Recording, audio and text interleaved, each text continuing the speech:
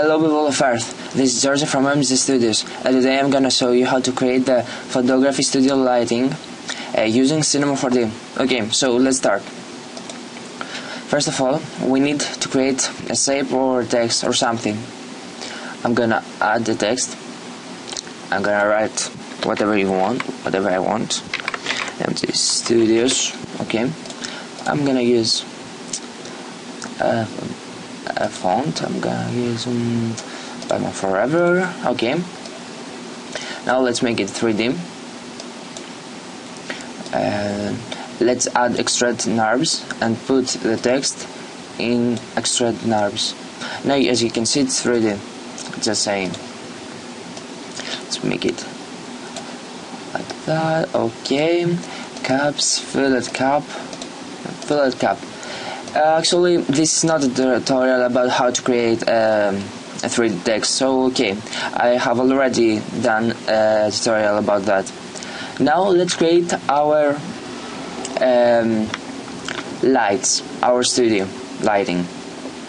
I'm not gonna add any uh, any lights. I'm just gonna add a plane. Gonna make it bigger, like that. Put put it high let's create a new material. I'm gonna add turn off specular and color and I'm gonna add luminance. Uh, and uh, don't change anything here. It's completely completely ready. Add the material at your plane and now uh, you just copy the first plane by uh, pressing Ctrl C and paste it by pressing Ctrl V now I'm gonna rotate it uh, 90, 90 degrees and I'm gonna make it a bit smaller. And it's gonna and okay. Mm. fucking spammers. Okay and put it here. Now I'm gonna copy paste copy and paste it again I'm gonna add one more plane here. Okay let's make it a bit further. Now if we pre-render this out render engine as you can see uh, we can see that it has some really basic uh, lighting. Now I'm gonna create a new material for the text I'm gonna turn off specular I'm gonna add reflection texture Fresnel brightness 45% um, yeah it's good. Uh, mixed strength uh, 15 15 uh, percent is good. And uh, choose uh, color you want. I'm gonna add um, a blue one. Yeah. Like this. I like it now add this material at your text or shape or whatever. Okay. Now let's pre-render it. As you can see it has a really nice uh, lighting. And amazing in my opinion. I really like this effect or how it's called.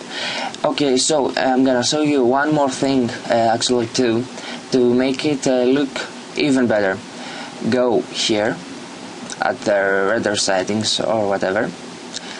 Um, I'm gonna add effect ambient occlusion and global illumination. Change the diffuse depth at to at 2 sorry my English I know.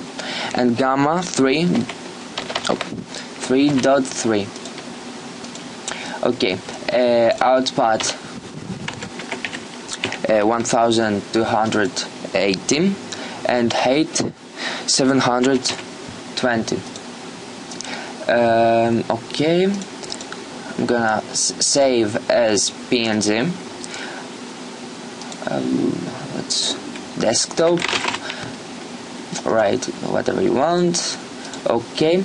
Geometry. You have to change the uh, at best. Ma make max level at like you know I don't know how to say that. Okay and decrease the ray depth to 6 reflection depth to 2 and shadow depth to 6 again. Okay now it's ready to render it. Just find the, the best place for you like mm, I don't know here. Uh, yeah. And just press uh, this button here so okay that was a really quick tutorial I know and sorry for having uploaded for such a long time. We were me and Marcus the Great we were actually very busy. Uh, not really actually we were bored to create videos. But okay um, I hope we will continue the, this channel. Please rate like comment or do whatever you want. Bye